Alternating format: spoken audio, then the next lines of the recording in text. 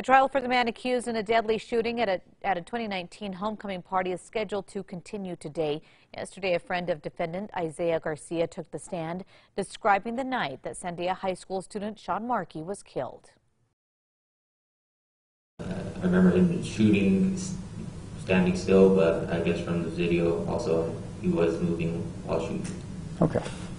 Are you just relying on the video or are you relying upon your memory? Both.